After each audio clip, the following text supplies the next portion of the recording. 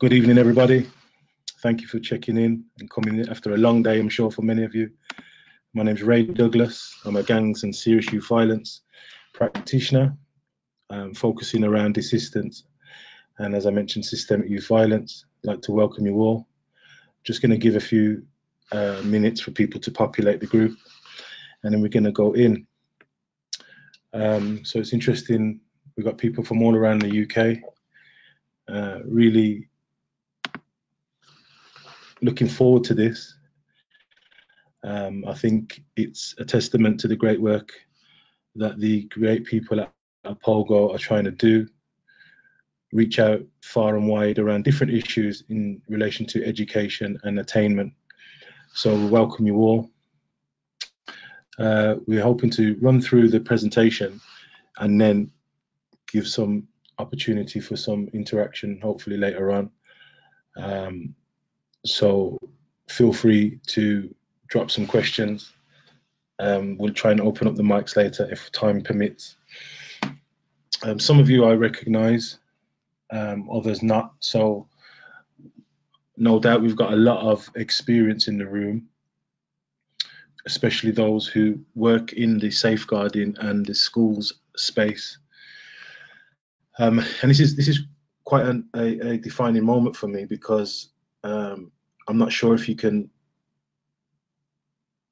hear me. I'm sat in a hotel in um, Manchester, and it's quite indicative of, of, of the current state of affairs because yesterday I was in East London um, delivering to some social workers and educators there. Today I'm working in Manchester, um, and then tomorrow as well, and then on off on, off on the travels again. But a few days ago I was also in Wigan. So what I'm seeing now is something that we we're not visionaries, but we foretold what would happen: the rise in youth violence, but not just youth violence. More recently, school-aged violence. So historically, you know, we'd be looking at 16 plus or 13 to 19 in terms of youth. Um, but it would a lot of the violence would be outside weekends, evenings. But what we're starting to see now is more violence in school uniform, if that makes sense, um, which is a tragedy, really. So today, um, it's going to be a sharing platform in the sense of I'm going to share some of my ideas and some of the things that I've been working on over the last 15 years and change, um, specifically around gangs and systemic youth violence, but also revisit some of the drivers. Um, and it's always important that as practitioners we reflexive. So reflexive, from my understanding, is not only how you impact your service users, the pupils, your young people, but also how the intervention impacts you. And, and when you reflect on yourself as a practitioner, how are you developing? What could you do better? What would you build on, etc. Um, so without further ado, I think we should we're going to crack on because I know it's seven o'clock on a just gone seven o'clock on a, on a Tuesday evening. So for those who don't know, my name's Ray Douglas. As I mentioned, a gangs and systemic youth violence practitioner yes, I am so sad that my my Twitter handle is Gangology, um, because that's how long we've been doing this this work. Um, and without forgetting, I'd, as I said, I'd love to give a shout out to the great people at Opogo who've set this up today, who I'm working in partnership and are going above and beyond in getting these conversations out into the not just the education sector but into the public domain. So shout out to the team at Opogo. Um, so in terms of where we're at at the moment, um, I would like to um, really start with some of the the wins that we currently are, are experiencing. So on average, um, as an as an intervention, we are working with anything from um, 20,000 upwards a year in terms of pupils. And when I when I say that, um, that's not individual interventions. That is a variety of um, extended assemblies, for example, or target work. Um, likewise, um, working with young people over a longer period of time. Um, I'm quite proud of that number, to be honest, um, because I do remember when schools were reluctant to engage around this issue because there was really a kind of almost like a sentiment that, well, it's not really our issue or problem. So the fact now that schools are really, really drilling down deeper in to address some of this is really something I'm I'm I'm happy about. Um, so what you see there on the screen is is almost the birth child of this work. So a little bit of a backstory. Um, about 14 years ago, maybe, um, I was invited over to Belfast, Northern Ireland, to go on a violence reduction program um, through UNESCO. So essentially, it was around transformative work, how to work with people, young people specifically, around violence reduction um, and conflict resolution. For me, it was a life changing uh, visit trip to the extent that I brought home the flip chart notes of the lecturer because I was so inspired by what they were trying to do over there. So my background itself was around youth work. Leaving school, I went straight into youth work of sorts. I did some bits at Barnardo's um, and different organisations. And then in my early early twenties, I um, started developing my skills and some qualifications around adult education. But what when I went over to Northern Ireland and saw the work that they were doing around transformative work, it really inspired me. So when I came back, as you can see there, I launched this program called Anti-Youth Violence. Now I'm going to show you how old this program is. If you look along the bottom of the screen, um, you're going to see um, this word here at the bottom, YIPS, Y-I-P-S, Youth Inclusion Projects. They're no longer around, but that's how long we've been doing this work. Um, and what, what we were doing was we were going out and delivering directly to young people who those organizations or institutions felt were at risk. Um, it was very successful. It was, I believe, it was groundbreaking back then. Um, and if I'm honest, we were really struggling to get the some of the decision makers and policymakers on board because I think at that time they felt that youth violence was quote unquote an issue for the black lads from the flats, if you understand what I'm saying. Um, and what we were saying was, look, what we're starting to see is the development of youth violence across the country, in small pockets back then, but you know, um, we believe it's going to escalate. Anyway, we kept our heads down, kept working, kept trying to change hearts and minds around this issue, um, and we saw, you know, we start building up a a, a reputation around focusing on this work. But what would happen is back then we'd, we'd start to get calls from youth programs, schools, etc. And, and, you know, head teachers call us. And this is, you're talking 13, 14 years ago. And they'd say, oh, Ray, um, we've got a gang problem. Can you come in? And we'd go over. And before, actually, before go over, I'd say it's year nine, isn't it? And they would be like, how do you know? Well, clearly we know that, you know, that that year, that year, that year group there, year nine, that rites of passage year, that year where people are going through puberty, is problematic for a lot of young people. So um, I turn up at the school and the head teacher would say, "Oh, thank you for coming, Ray, and we've got a serious gang problem. The, the kids are wearing multicolored shoelaces." And yeah, that, that's the pause that I did as well. That pause there because what was happening was some of these organizations and schools and institutions were getting it wrong in short and identifying youth culture as gang culture which are two different things so lo and behold um, i developed a, a program called gangology. So gangology was although we were working with the young people on anti-youth violence what you can see there we felt there was a need to start working with practitioners to increase their cpd and then the floodgates opened. So we started working with youth workers um, YOS workers, social workers, police, um, training them, training you name it, um, to the extent in the Olympic year, um, all those years ago in London, we trained up a majority of the youth workers or those connected to the youth services in the Newham area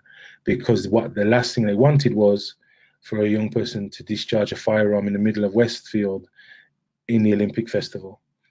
Um, so that was essentially um, the backstory. And that now is, you know, at least probably over a thousand practitioners of a, a year are hearing our work or attending our training. So yesterday in East London, we had um, youth offender um, officers um, social workers, early interventions, some academics, some enforcement around ASBOs. So it's a it's a great thing for me personally that a lot of these organisations and departments are now um, branching out and um, really plugging into some of the work that we're doing.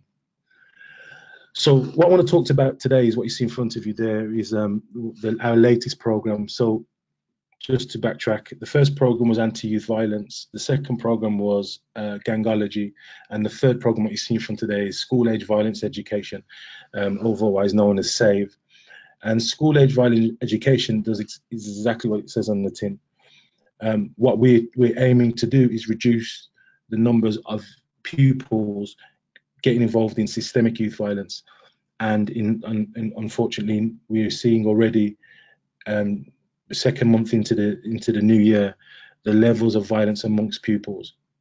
So school-aged violence education is essentially has different elements to it. So the first thing is, um, and this is what we're really pushing for, that the school adopts um, a universal model to the message. So whether there's only 2% of the school who are gang affiliated or, or got that kind of DNA, if you will, we share the message of violence reduction from year 7 till 11.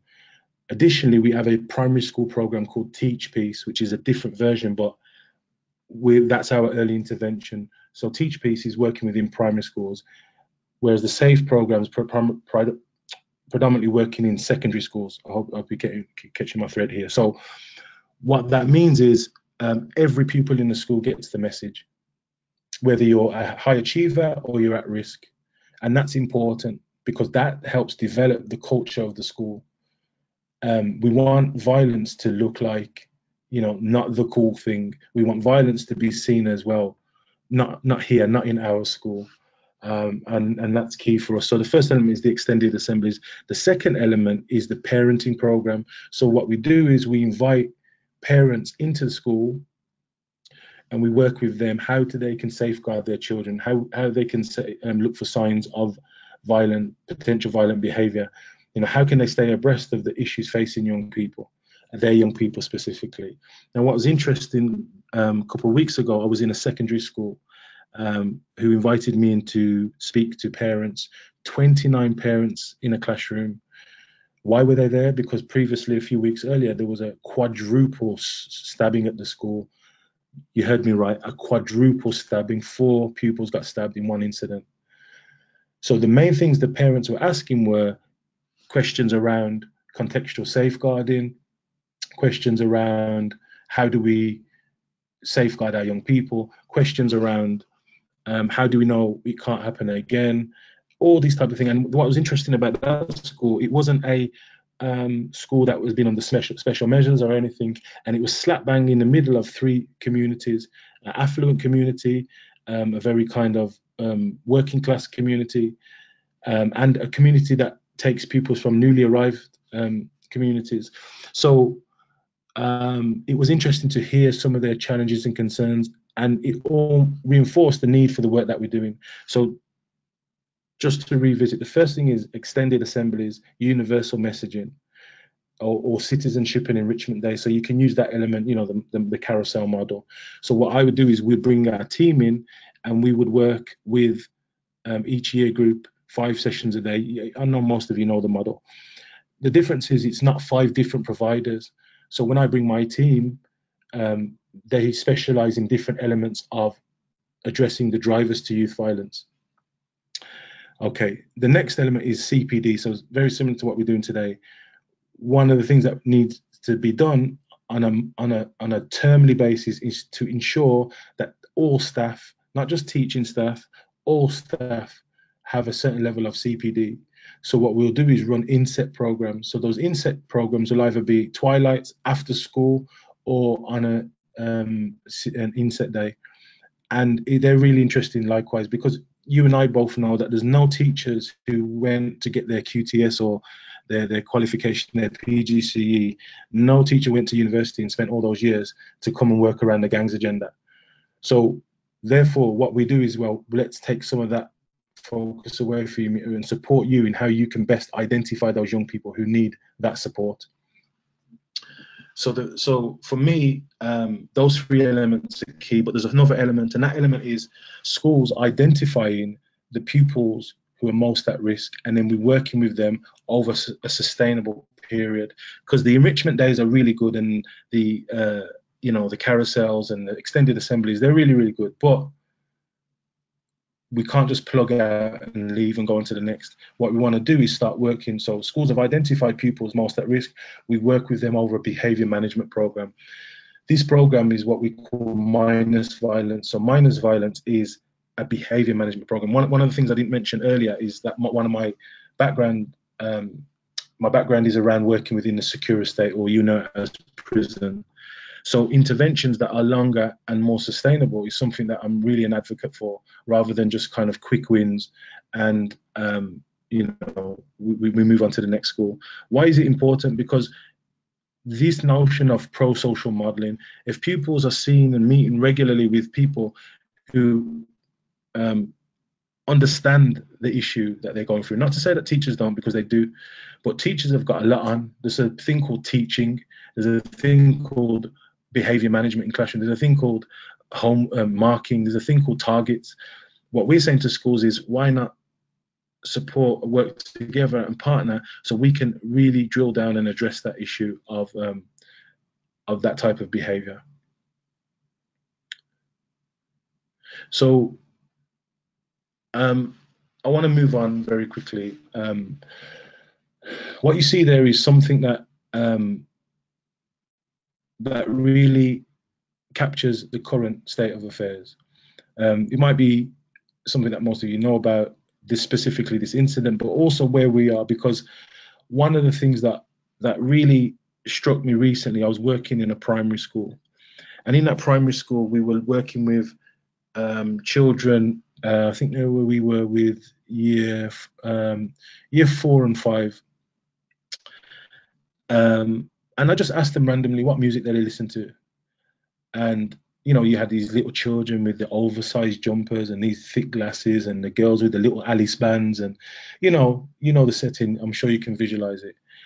And I kid you not, when when we asked them some of the artists that they listen to, I was taken aback because we weren't talking like mainstream artists that are common, you know, commonly known or visible. They were mentioning a lot of underground artists, artists that aren't even in the public domain. Really, you'd have to probably be from that culture to understand them. But what dawned upon me is the main reason is because a lot of them are listening to what their older siblings are listening to. So here you see um, a channel there in front of you, GRM Daily. Uh, GRM Daily, for those of you who don't know, is an independent channel on YouTube where artists who primarily in the grime um, grime scene come up, upload a video, or they themselves go into the shoot, studio and um, to, they're speaking a vernacular to go and speak, right? So you see a young man here called Shoki. There's Shoki on the Wednesday. If you look in the bottom left of your screen, um, you can see the same young person bleeding out on the floor there. Um, I've blurred out the picture, and over him is, is an officer, and the officer's applying CPR. To the right is the the same young person who made it to the paper that week, unfortunately, and was stabbed and, and died. But there's something else um, that that you probably missed there. So if you look, go back to that second image of him lying on the floor. You look along the bottom of the image, you see his name typed in with the emojis.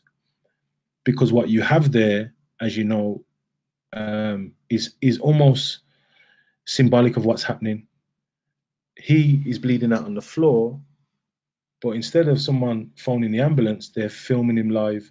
So he's live on Snapchat, bleeding out. So he's he's dying on Snapchat before the ambulance gets there. So what happens is a whole generation of young people are seeing that, and we'll touch upon that a bit later, what that looks like even in further detail. But that is it's a tragedy. But not just young people as in 16 plus, school age children, so when I when we use this case study in schools, all the young people know about it from whichever part of the country they're from. So I mentioned something to you um, a short while ago about me being a assistance practitioner. So I've worked in approximately 20 prisons, YOIs, and children's security units across the country. Now, the obviously children's security units is a nice way of saying children's prisons.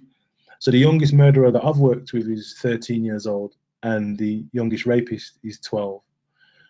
And prison is a mirror of what's happening on the streets. And I, I really, really want people to understand um, the critical nature of where we are now.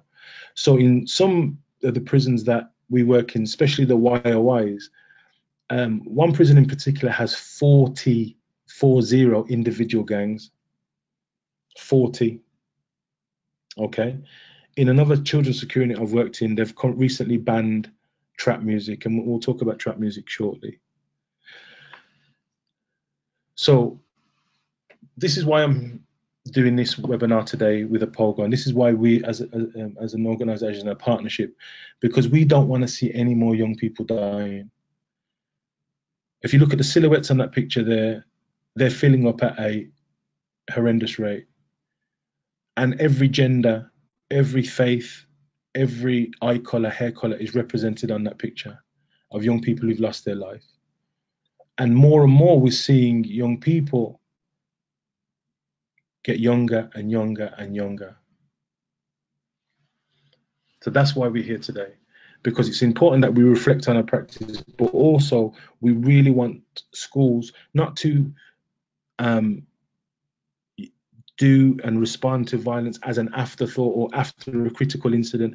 We want it and need it to be bedded in their curriculum, embedded in their curriculum. So um, rather than a, a kind of, well, you know, and someone had an idea, oh, we need to, no, embedded, embedded just the way that the important issue of racism, radicalization, and right wing extremism is embedded.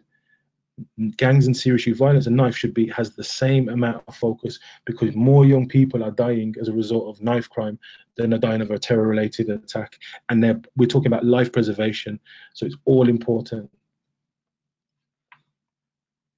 So the tipping point for me, and if anyone knows me or knows about me, my favorite book of all time is The Tipping Point. So, The Tipping Point was a book written by Malcolm Gladwell when he talks about change and how society changes. Um, he quite often talks about food and fashion, but he also talks about crime. In The Tipping Point, in terms of the UK, um, we have several incidents that changed the way that we looked at knife crime. So the, the obvious one from London was um, Damilola Taylor and some say Stephen Lawrence. Uh, Manchester, Jesse J. Um, Liverpool, interesting, was Rhys Jones, young boy in the Everton type who got shot. he was 11 years old. And that was a, a different type of tipping point because, um, one, because he was white, but also it made the whole country look at that, that part of the country and think, hold on, there's gangs there and they're white gangs and, you know, Norris Green and Croxteth and so on. Birmingham's tipping point, um, well, obviously, was the New Year's Eve shooting, the tragic shooting of the two girls. Um, but I believe there's a tipping point that we've had in the last two weeks um, around this issue of serious youth violence. And this is the one I'm referring to. The, the tragic tragic death, uh, murder of Jaden Moodie only a couple of weeks ago, um, a few weeks ago. The age, the story, um, you know, the, the nature of how he was killed. Um, and what people are starting to, to realize is that, hold on a minute, we're talking about 13 and 14 year olds, whether they're in school or they're, they're in a pupil referral unit. And for me, that's that's been a clear tipping point in the UK that now we're starting to see this level of violence amongst these these young people. And what was interesting was if you looked on Instagram, I saw people who they themselves would disclose themselves or declare themselves as being, you know, from that kind of road life, street life. But even they were saying, look, there's got to be this is beyond, you know, this is beyond even the, the code of the streets because of the nature of the, the way that he was murdered. But that 14 year old had friends and he had a peer group and he had family. And my question to you is how do you respond to something like that as an organization? How do schools respond to a pupil dying whether he was excluded at that time or not, or in a pupil referral unit, we still know other examples of pupils who have been stabbed. So, what is gangology? So, I'm sure you might be familiar with the book, The Seven Habits of, of Highly Successful People by Stephen Covey. So, Stephen Covey talks about concern, whether the concerns your salary, concerns your relationships, your waistline, the planet, the ozone layer. He talks about concern, and as majority of us as humans, we have this big red concern because we can uh, uh, against our influence. Um, he said a majority of us, that's how we navigate life. We allow our concern to eclipse our influence. However, what he says is that we have to get to this model. And the, the beautiful thing about schools is that they can be innovative, they can engage um, around this agenda a lot easier than other spaces. And that influence has to come from a leadership perspective. It has to come from a place where um, people who get it, and like I said earlier on in the in the in the podcast, this isn't about the black lads from the flats. This is about young people up and down the country. I mentioned earlier on, I was in Wigan a few days ago. Wigan, okay, not the most diverse town in the country. Great people, warm, welcoming. Problems around youth violence, problems around school age violence. So what we're starting to see now, even uh, recently, I was working in a prison near Stoke.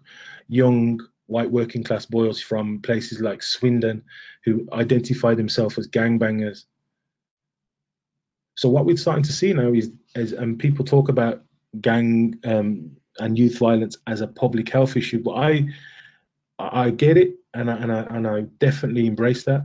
And people talk about it as a disease, but me personally, I call it a forest fire.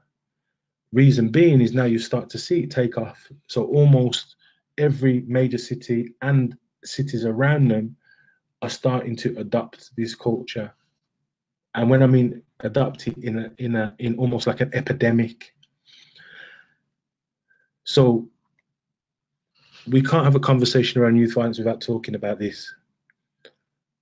This uh, this driver, you see, because a lot of the if I want to know if if I'm invited to a town and it's not one I'm familiar with, and I want to know what's happening there around youth violence, I just go online, like many people. I find out who the artists are. I find the language, the gangs, the, um, the as much historic beef as I can, conflict as I can. But what's interesting is um, you look at now this generation. So the average young person, the average pupil who's currently in school, by the time they reach 65, they'd have spent a total of four years with their thumbs on a screen. The average young person scrolls the distance of the Statue of Liberty every day. So they are plugged in, fully plugged in, and I don't believe there's any turning back from this. But you know, we don't need to have the conversations about the effects of it. We know that a like and a retweet and a forward and a heart it secretes the hormone oxytocin that goes to we know that but there's the, the, today we're going to talk about violence so what i want to talk about is the seven habits of resilient schools and when I say resilient, I mean resilient around the issues of of um, school age violence. So for me, the the first habit is national standards. Um, I really believe that schools need to across the country have national standards around this, meaning that every school should be adopting some program or have in their curriculum a program that deals with systemic youth violence it's not, as I mentioned earlier, not an afterthought or not a oh somebody should. It's something that's bedded because what we're talking about is schools becoming peace informed.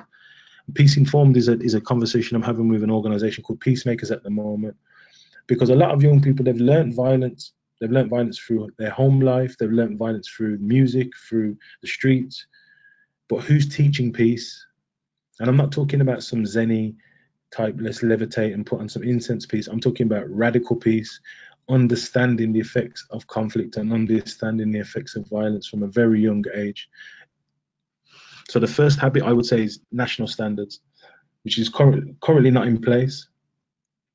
The The second thing now is what evidence-based practice, and I'm, I'm sure as practitioners you've heard this word, but evidence-based practice means to me, from a school context, is that every school that are not just a hotspot, high-risk area, but they need to be able to map what gangs are outside that school based upon postcodes. Understand you if you do that, you'll understand the conflict.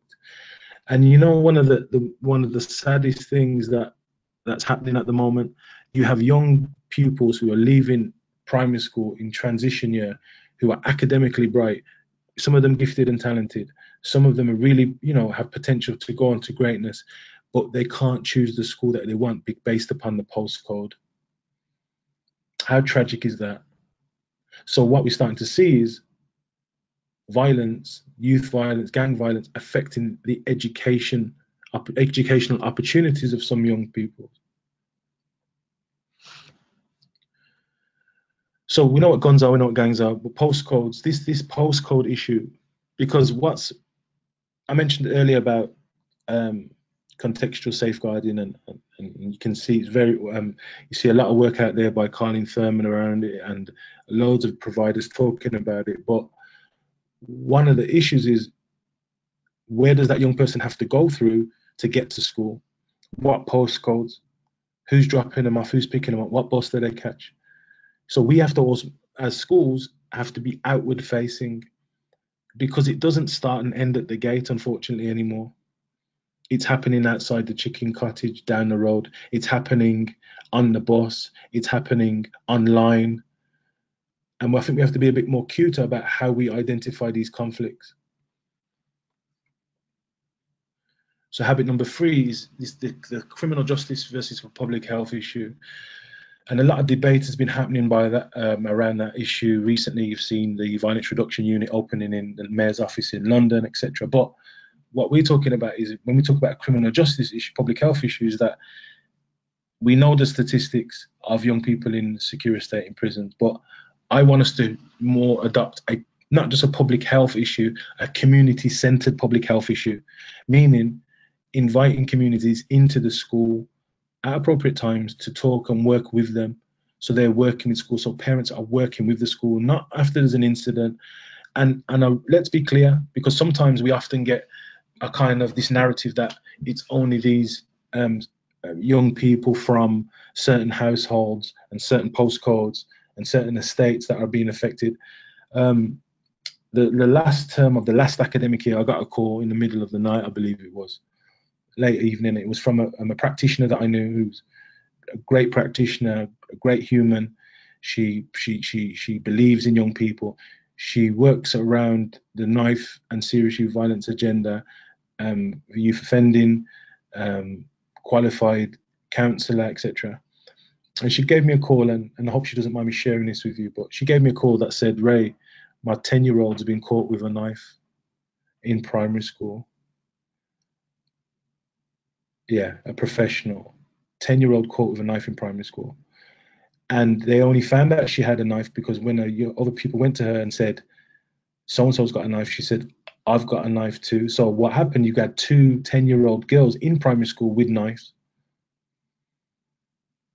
And it was tragic because this parent, not only she's really, um, you know, she's really engaged with her own children, but she believes in young people and supports this. So let's be very clear here. We are no longer talking about the stereotypical kids from the estate. This is a forest fire, and we need, as practitioners, to join together, and especially as educators, to see how we can work around this agenda and reduce the number of young people dying. So here in front of you, there, um, this is the um, for me this is an ideal model. It comes out of the um, violenceepidemic.org so if you look to the left of the screen one of the first places it starts with is, is schools. Everything this is the ecosystem and this is how really it's supposed to work. I don't know if you've ever watched the truman show but it's almost like the truman show. Everything's in place. Now we're far away from this. It's getting better but you can see schools are at the center of it. Create self and have healthy learning environments.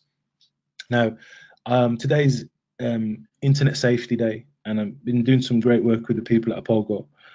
And one of the things we were talking about in recent one of the vlogs recently was the fact that um, the reduction in youth spaces. So if you think about it, three to 400 million, depends which report you read, has been removed from youth services in this country. Not only that, north of a thousand youth centres have closed and thousands and thousands of youth workers have lost their jobs, took in voluntary redundancy, etc., because of the cuts. So there's very few safe spaces left for young people to discuss, very few safe spaces left for young people to heal, very few safe spaces left for young people to have dialogue. And if you look at that model in front of you, um, whether it be the, the, you know the academic centres or the faith institutions, every institution, all of us have a role to play. At the centre of it, obviously, is the community, but schools are an integral part of this, and it can't be um, you know it can't be understated how important it is, especially with the decline of youth services across this country. So the 20-year warning, if you read a, a certain newspaper 20 years ago, you know they would say stuff like you know, the yardies are coming and they've got gold teeth and lock up your daughters and, you know, that whole narrative, that stereotypical narrative. But we know this is no longer, this is not true. We knew it weren't true then, but now more than ever, we're starting to see um, this level of violence affecting all communities white, Asian, Arab, Afro Caribbean, African. Um, we don't need another warning. Um, and I, you know, I go, I would go as far as to say we don't need another report. You know, we know what needs to be done, and partnering with schools is one of the things that needs to be done. Um, and this is why now we're looking forward to when we're looking forward, looking forward into the future, because we have to roll our sleeves up. So the habit number four, though, is issue and target based. So when I say issue and target based, is um, let's talk about um, like today. I'm in Manchester, as I mentioned. It's Hate Crime Awareness Week.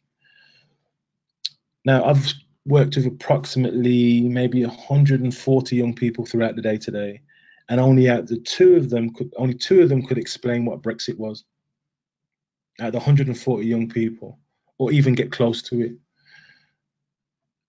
and what's interesting is I, I, use this I use an example of Brexit as as I'm very much like um, early intervention. So science has told us that when two parents are arguing in front of a toddler, it can affect the central nervous system of that toddler.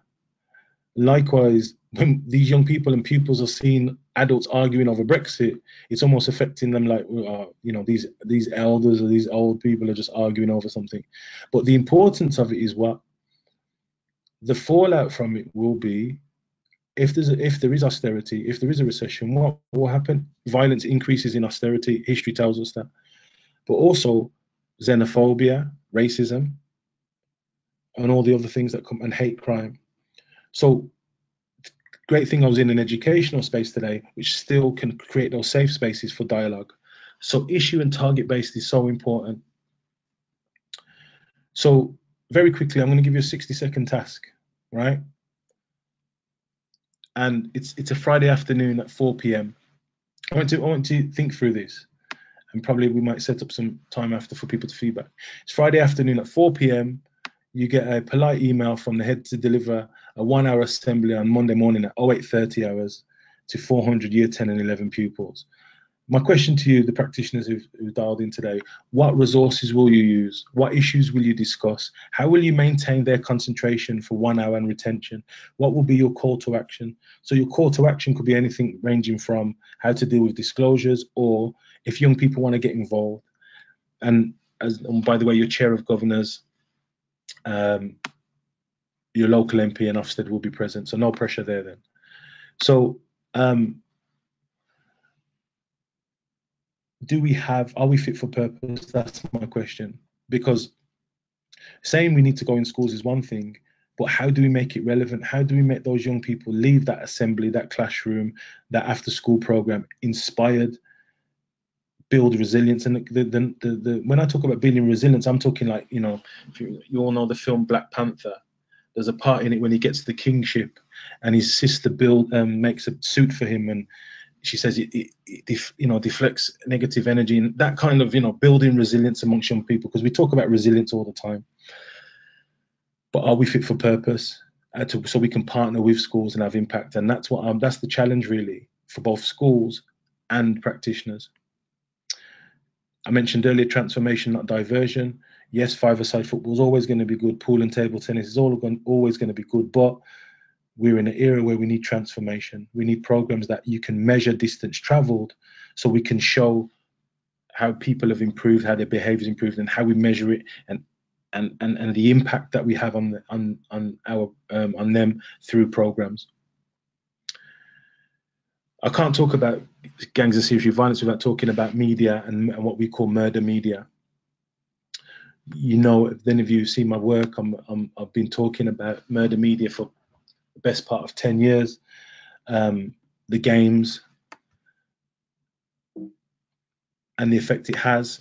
You know, we don't. I don't want to get into Fortnite on this webinar, but you know, a teacher said to me recently they know when a new school's and know when a new game's come out because they can see how tired the pupils are the morning after because they've been on it all night. Interesting. The films, yeah, the constant kind of single narrative films, and and the music, and I, I you know I have to I have to highlight. I'm not usually a person who highlights individuals, but you what you see in front of you there is a, is a 61 year old Tim Westwood, 61 private school educated son of a bishop. His father was a bishop. Week in, week out, having um, young, vulnerable men and young people, sorry, some of them school aged, in his studio. And we don't need to say that they're not spitting about global warming. Um, but what's also sad about that picture individually is, is three of those young men have died. Um, and at the end of the month, I'm sure it's Tim Westwood who gets the the remittance from YouTube for the views. So what we have now, and, and, and I want you to remember where you heard this word first, the verse, the, the word called child violence exploitation, because that's what you're seeing now, child violence exploitation. And I was, I was training up in um, Bolton recently, and, and, a social worker turned to me, and he's a kind of like old school, been around many, many years. He turned to me and he said, "You know what that picture reminds me of, Ray? It reminds me of Jimmy Savile."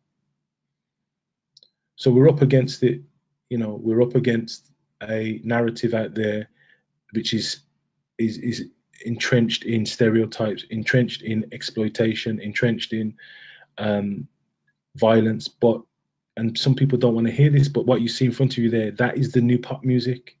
That is the new take that because pop music just means popular music and by, based upon streams and views. And my, I always say to people, the 20 plus prisons that I've worked in, I've never heard Adele or Justin Bieber coming out of a cell. But now also what you're starting to see is the gentrification of violence. So I'm sure many of you remember where North Face, North Face was the coat worn by the deputy head. Um, you know, who liked a bit of mountaineering on the weekend. Now North Face is the staple jacket, the staple three, four hundred pound jacket for most pupils. But recently, if you saw what Puma did, Puma had a real interesting um, launch of a, pro, um, a, product line called House of Hustle, where that you would work, for, say for example, you work for a design agency or you work somewhere in a nice kind of, you know, bougie part of of, of a major city. Um, you get this through the post, and you got a card that says turn on your, this phone at seven o'clock and then you'll be directed to a secret party launch of our House of Hustle range. And as you can see in front of you there, the picture, there's the phone, which is obviously the trap phone, and there's the card, fake money, and there's the invite.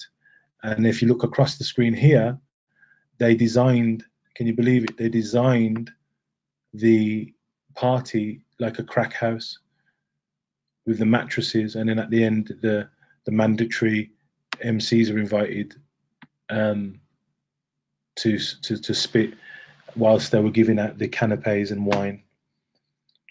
So you see now the gentrification of violence, which is tragic.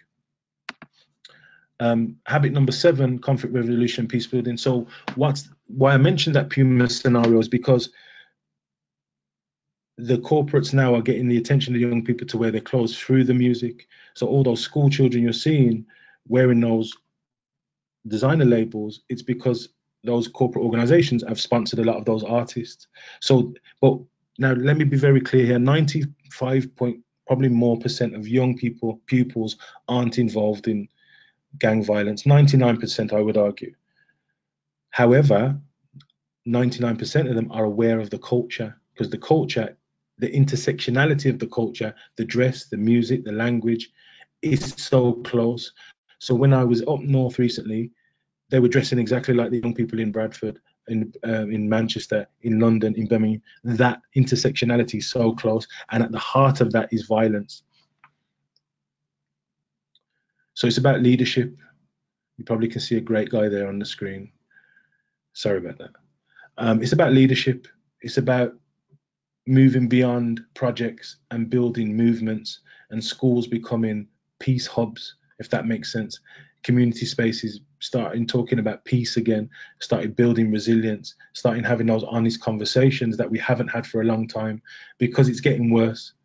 And I feel a lot of us are getting compassion fatigue and getting desensitized to the fact now that did re- did we really just lose a 14 year old to that just got ran over and stabbed seven times? Yes, we did. And you know, we have a history. We have a history of young children dying in this country. But also, one of the things, and I know all teachers do this, and they do it well. Um, they remind a lot of them, you know, they remind pupils that you've got a genius, and that's all we're saying. You have a genius, and you have dreams, all these things, whatever the safeguarding issues, these will detract you from your dreams and your genius. There you have the picture of of Damilola there, and I don't need to to, to, to because most of you know the story, so we don't need to vi- revisit that. But you know, the last images in, of him, him having dreams of being a doctor, with his friend who went on to become, as you know, John Boyega in, in Star Wars. But what's the point of making is that safeguard them safeguarding themselves from violence, from criminal behavior, and so on. For me, it's about life preservation, but we're also seeing their their dreams being extinguished by this violent culture. You know, we talk about you know all last year. I was, and this is a true story. And sometimes when I say these things, people just think I'm making it up. I was I was invited to a birthday party recently for a one year old child who's a relative of a relative so I've always wanted to know why we go to one year old birthdays because the one year old doesn't know it's their birthday. But anyway, that's another conversation. Um, they had an entertainer there, and the entertainer was um, doing different things, the, the normal mandatory, you know, balloons and the games. And then all of a sudden, next up, children, um, we've got musical chairs. So we all love musical chairs. I know everyone in the room loves everyone's everyone loves musical chairs growing up. What do you think the song was that they were do musical chairs to? Man's Not Hot. Four year olds.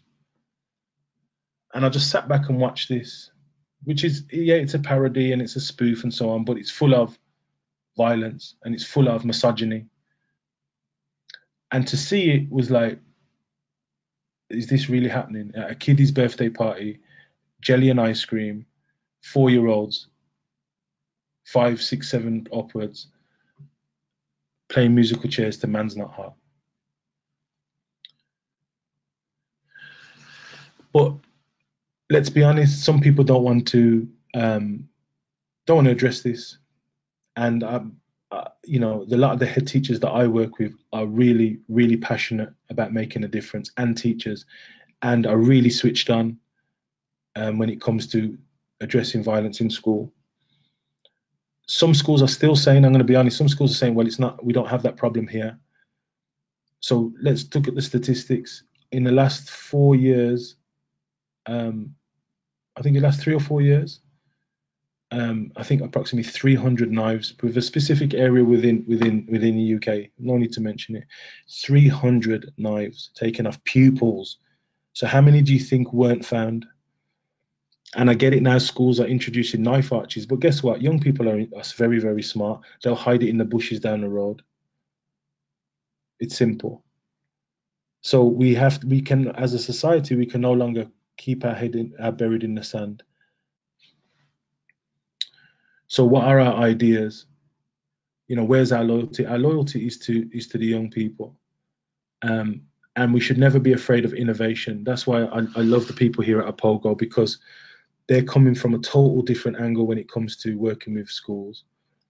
You know, we're making it accessible for people to to access knowledge weekly, daily, but also, you know, the, the a belief that there has to be some innovation when it comes to education, um, and partnering with schools is key with that. So it's not yes, numeracy, literacy, and all the other subjects are important, but where do we teach them the other things, and continue to teach them? Where does our energy go? because yeah, we, we we all live in a world of targets and milestones and outputs and outcomes and key performance indicators and grades. Um, but also sometimes about innovation. So if you look at people say, oh, as there's 24 hours now, as there has always been 24 hours, it's just they didn't open their doors to the public. And what I'm saying is that innovation is that sometimes we have to step back and think, well, how can we get more people how can we bring more people on board when it comes to violence reduction? How do we innovate? Because you know, I'm going to be really honest with you. Football on the AstroTurf is not cutting it in 2019. And you know, when I work, I've worked in, the, I managed the gangs unit in prison, the most violent gangs unit in the country. I've managed the team in there. And you know, you're talking about young men who will look at you and say, "Look, no disrespect, we love what you're doing, but you know, I'm coming back here. Only a couple of years before, those same young people were in school. So, what are the messages? And I think we need to kind of no no sugarcoating the message. We need to be very clear about what we're saying here because this is about life preservation. Social media, we don't have a conversation about that, but we do have to have a conversation about social justice. And social justice is um, at the heart of all this work. Joint enterprise. So now we've had a, you hear the conversations about joint enterprise. Um, young people being sentenced to lungs because they were there at the time of the fight. And most of you remember when we were at school and there'd be a fight and people gather at the, the green down the bottom of the road. But now that happens, if knives are getting pulled out, you, you're going to have pupils going to prison potentially. I'm going to wrap it up there because I'm really conscious of time. Um, so thank you for those who um, stayed in, in in in for the went a little bit over. I hope it was a snapshot um, of what what needs to be done. Um, I think we may. Uh, I'll check in with one of the admins who's doing all the hard work. Um, if we want to continue, if people would like to have a conversation, then we can maybe continue that um, another day. I do think um, this is the start of something great. I know we'll see a lot of you in the group there who are experienced practitioners, and it'd be interesting to keep the conversation going. Make sure that you um, keep in touch and download the Opogo app. Um, I would suggest that if you if you'd like to keep this conversation going, drop me an email. Um, you can either drop myself an email or Opogo, and all the details are there with your registration. Um, but yeah, the Opogo app is something that if you haven't downloaded already, then please, please do so. There's tons and tons of content on there, and quality content, and it's and it's consistent. Um, but like I'd say, I'm going to jump off. Um, I wish you all peace and blessings, and hopefully we can work together in the future. And likewise, I um, stay in touch and check in. You know, if there's anything that you want to add, um, you've got our emails and our details, and maybe our paths will cross in due course. Peace. Have a great week.